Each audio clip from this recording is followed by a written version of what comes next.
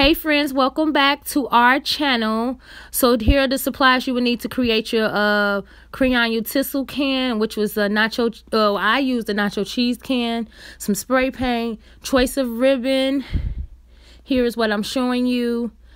Uh, you want to spray paint your can in advance and let it dry overnight before you begin to uh, hot glue your crayons to the can. And that's what I'm showing you here, what the can looks like before the crayons are added. And once it's dried, then you can begin to hot glue your crayons to your can. You can use any can of choice. I like I said, I use some nacho cheese can sauces that we had in uh previous and I thought instead of throwing them away, let me make something out of them, something cheap, inexpensive and this was the idea that I came up with. So here you see me just hot gluing a crayon like so.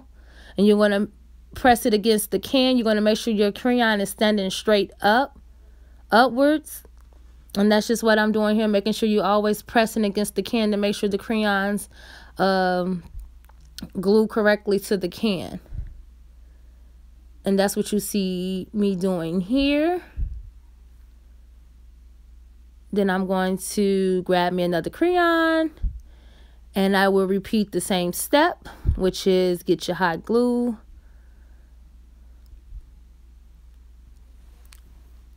Put a line down the back. I know I wanted my Crayola uh, signs to show all the way across.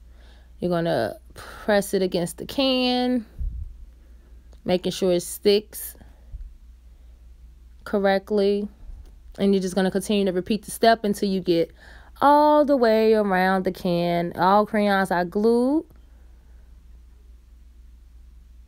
And here it is. I'm just repeating the same step. Hot glue. Press against can really hard. Making sure everything is nice and firm and sturdy. And that's pretty much it, guys. This is a very inexpensive, like I said, project. Easy.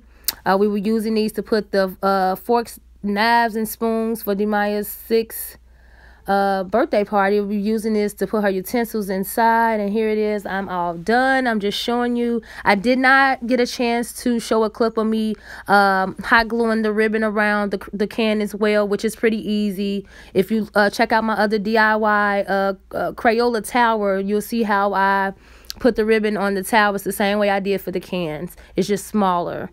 So it's very easy. Just cut you a piece of ribbon, eyeball it, uh, see where you want your ribbon to stop. You can tie it together in the bow or you can leave them touching, the ends touching.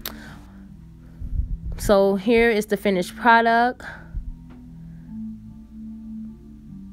Your DIY crayon utensil holder. I hope you guys like this video. Thumbs up if so. Comment down below. I thank you all for watching.